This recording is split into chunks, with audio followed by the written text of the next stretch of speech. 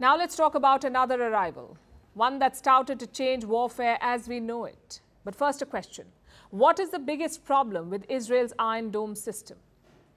I would argue it's the cost. Each Israeli interceptor missile costs about $50,000. But what if Israel had a cost effective way to stop the rockets, a way to hit one rocket after another endlessly without having to worry about its expensive interceptors running out? Sounds ideal, right?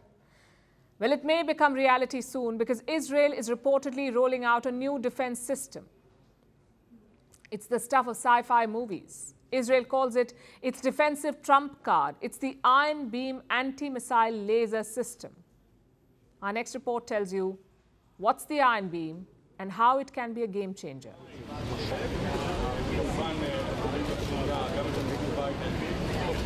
Look at this video from last year. That's US President Joe Biden getting ready for a photo shoot.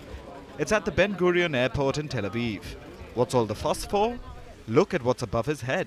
The giant camera lens like thing. That's the reason for all this excitement. Because it's Israel's ace in the hole the Iron Beam Laser Anti Missile System. The Iron Beam is a technological marvel, the fruit of years of research in high intensity lasers. It was first unveiled at a Singapore air show in 2014, and after seven years, it seems to be ready for battlefield action. The system was made for one thing taking down aerial threats before they hit Israel.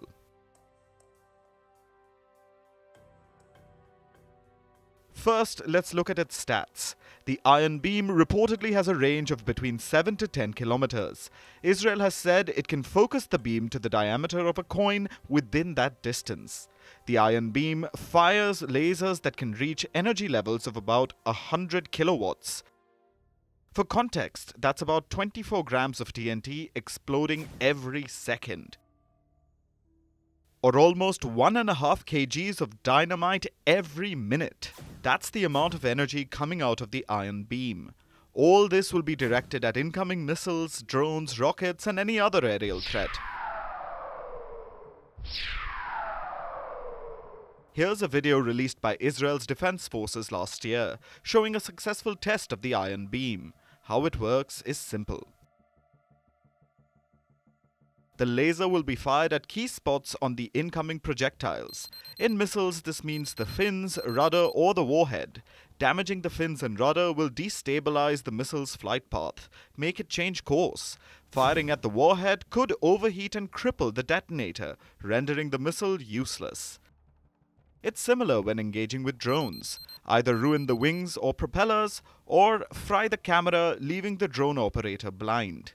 But this method has a drawback when it comes to kamikaze drones and rockets especially. These are simple weapons used for destruction. Wherever they land, they will explode. So changing their path may protect critical targets, but some damage will still be done. Which is why Israel isn't going to replace all its systems with the Iron Beam.